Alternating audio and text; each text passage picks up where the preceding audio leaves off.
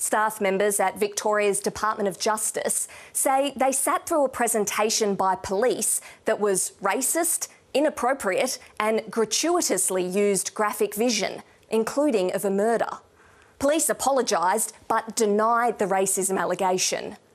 According to documents obtained by the ABC under Freedom of Information laws, the session, held last year, was pitched as a really impactful look at the youth gang landscape in the state. But just over an hour after it ended, the complaint started. One attendee sent an email saying the final presentation of the day was very racist. The response came quickly. The department was already collecting staff concerns. Staff complained about graphic footage of serious assaults and murders, primarily within the South Sudanese community, which was described as gratuitous and used to shock. They said the focus was solely on African gangs. Commentary by the presenter was described as flippant and racist in several points. Attendees were said to be extremely affected and disturbed, and claimed earlier warnings about violent content didn't go far enough, with one saying, to put it bluntly, police should have said, We're about to show you someone get stabbed to death.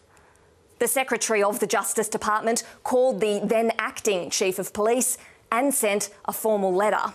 It raised the concerns, including claims the presenter used the N word, referred to a child as an offender for life, and made comments about sending people home in relation to visa cancellations.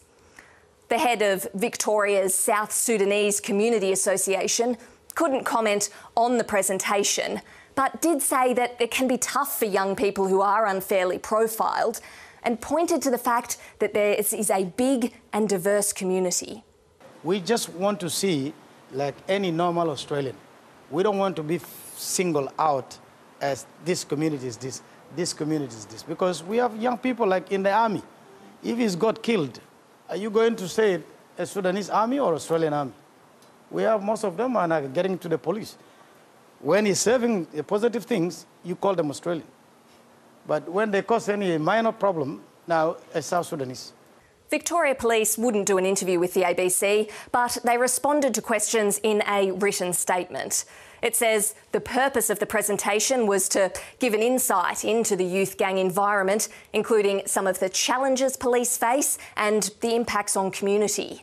The statement says there was no racism and that Victoria Police didn't focus on any specific ethnicity or group, but rather on criminal offending examples.